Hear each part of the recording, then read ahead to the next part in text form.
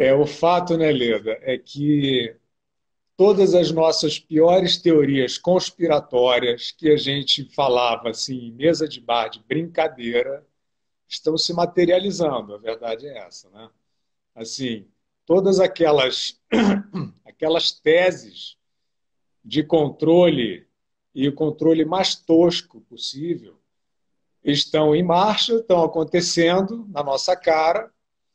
E assim, eu acho que uma parte da, da sociedade, das sociedades está é, tá se dando conta e está ultrajada, né, porque os preços pagos são altíssimos, né, e mais outra parte não está se dando conta direito. E então os impostores estão com o campo para trabalhar.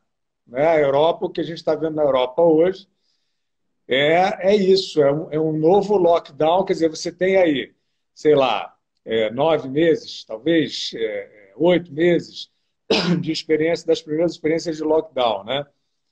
E, e, você tem, hoje, isso já não é mais achismo, né? isso é constatação, você tem estudos em universidades importantes, sérias, tem Stanford, tem UCLA, tem Toronto, todas elas têm trabalhos comparando ali, é, é, preto no branco, as áreas que mais é, é tiveram lockdown mais severo com as outras.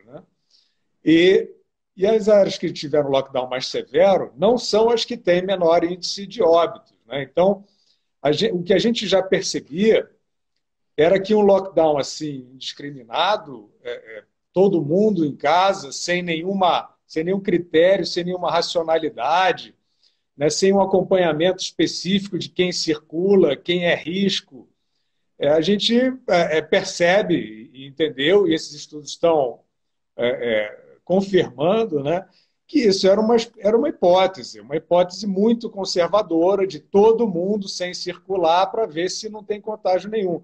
E isso não, não deu certo. Mas a gente ainda vê, é, é, na França, por exemplo, a França está voltando de novo né, para o lockdown. É, apesar. Está voltando. Ontem o primeiro-ministro falou até maio de 2021 era toque de recolher. Exato, e, e, e, todas essas medidas assim sem, sem critério algum, quer dizer, é, é, a essa altura, uma autoridade é, deveria trazer o seu laudo, né? Assim, olha, nós vamos trancar porque nós temos aqui a verificação e a constatação de que esta forma de contenção da circulação resulta em preservação de vidas e não existe esse laudo porque isso não aconteceu dessa forma. E, no entanto, é, uma parte aí da mídia, da televisão, continua meio que chancelando isso, e, e as autoridades estão fazendo. E aí eu acho que a gente volta para a tua observação anterior sobre a VAC, né? eu entendi que a gente deva chamar assim, né? com, uma é, abreviação. É, assim. É, é, que, assim, é, é esquisito você ter um, um prolongamento artificial né, de, um, de uma quarentena que não tem seus efeitos demonstrados e você ter uma, uma aceleração né, da questão da, da, da VAC, né, porque tudo bem, todos desejam a VAC, né, mas desejam a VAC segura, eficaz. A, eficaz, e isso não acontece rapidinho assim. É, é, a gente sabe que os testados são é, principalmente, é, é, os voluntários são principalmente jovens, é, tem algumas formas diferentes aí de desenvolvimento dela, tem o vírus atenuado, tem também essa que ataca diretamente na base genética para suscitar uma, uma imunidade, e nada disso tem é, rodagem. Não existe é. você colocar isso na rua massivamente é, sem é, é, testes exaustivos. Então, é, é, estranho você prolongar um lockdown sem lastro científico, sem demonstração e acelerar essa, essa VAC como se ela tivesse vindo segura e eficiente para salvar todo mundo. Sim, você muda o discurso, porque até anteontem, literalmente isso é, ela não, não tinha uma boa eficácia junto à terceira idade. Ontem ela tinha uma eficácia ótima, até melhor do que em relação aos é. jovens. É. Quer dizer, o que, que muda de um dia para o outro? Não é? É uma coisa, tá uma coisa muito estranha. Agora, eu não consigo entender onde é que eles querem chegar com esse lockdown.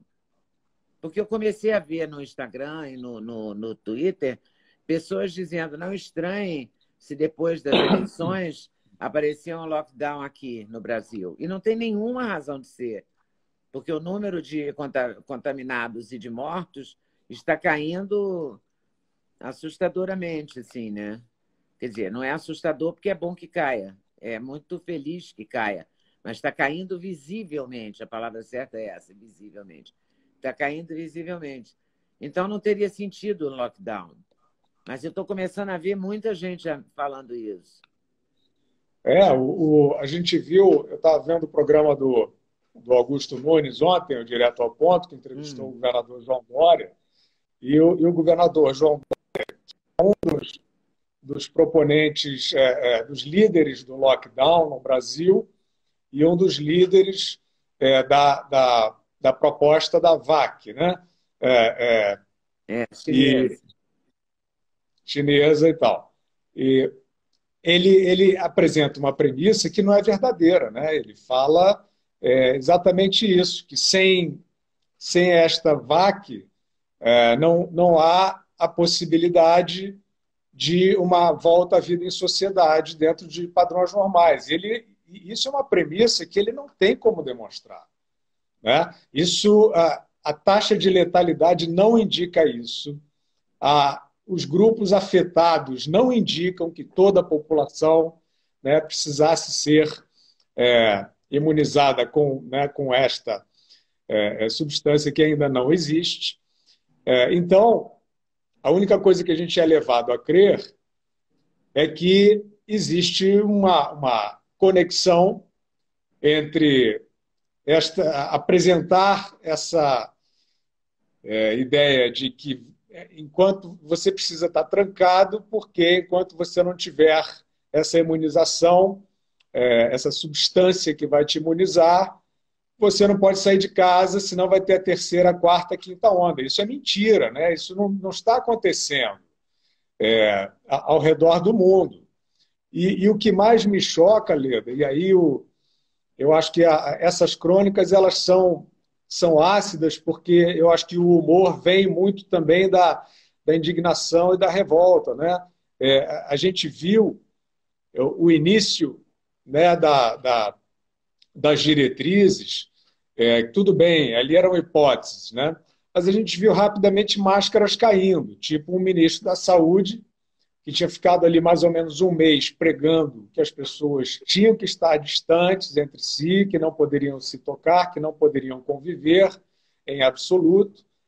E, de repente, ele sai do ministério, a solenidade ali, o ato, pelo menos, de saída do, do ministério, ele ostensivamente, sem máscara, se abraça e se beija com seus auxiliares, e depois aparece aí já numa. Isso diante das câmeras, depois dentro do ministério, dentro do gabinete, um ambiente aglomerado, todo mundo sem máscara, se abraçando e cantando.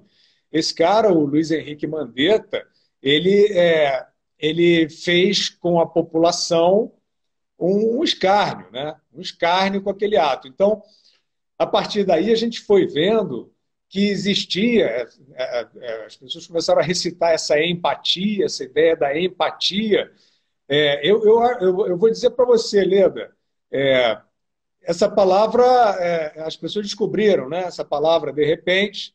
É, a gente tem que desconfiar. O Fake Brasil ele é essa, esse voto de desconfiança nessas artificialidades, entendeu? De repente as pessoas começam a falar como se fosse coloquial e na empatia, que falta de empatia. Parceiro, eu nunca ouvi você falar essa palavra.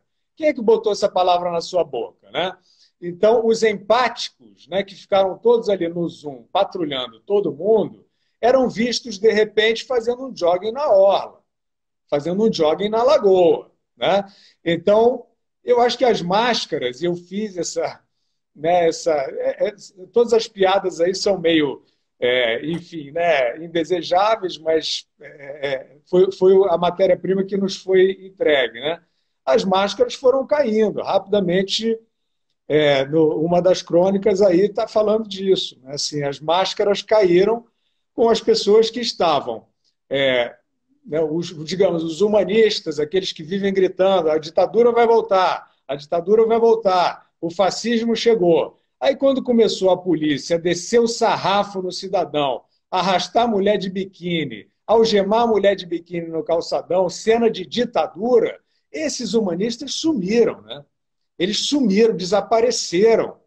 E até hoje eu estou procurando. Gostou do corte que você acabou de ver? Vale a pena conferir com certeza, né? Então vai conferir muitos outros cortes no canal de cortes Leda Nagli. É claro que a entrevista completa você vai conferir no YouTube Leda Nagli, canal Leda Nagli do YouTube, você não pode perder de jeito nenhum. Valeu, tô te esperando, hein? Vem nessa.